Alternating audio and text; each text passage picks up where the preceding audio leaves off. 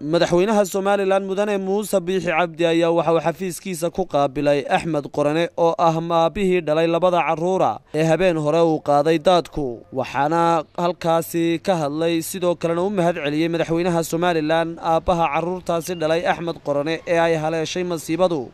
Hadalladiisiina waxaa ka mid ahaa.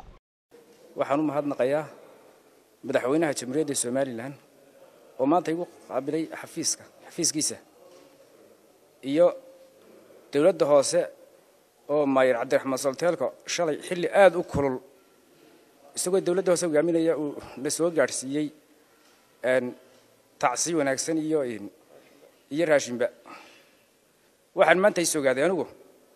Aan ogaaday in aan leeyahay qaran somalilan la ydhahdo oo jira madaxweyne wax ku tari kara oo daacada sida dadamisku dabka u soo gaadho ayuu deg deg nugu soo gaadhay. Isla habeenkii masiibadan dhacday. Alxamdulilah rabbialcaalamiin dadka reer somalilanna waxaan leeyahay ogaada qaran baa leedihin qaran baa leedihin ogaada tanoo kale markayd ku dhacdo wax idin tari karaa waxaa kalaan u sheegayaa halkii masiibadu ka dhacday iyo agagaarkeeda dadka yaalla ee biyo mareenka ah in ay deg deg uga guuraan. Saanay tiyoo kale ugu dhicin iyagana oo ay maqlaan dawladdooda amarka ay siiso. Haddii kale tan oo kale unbay la kulmi doonaan iyaguna.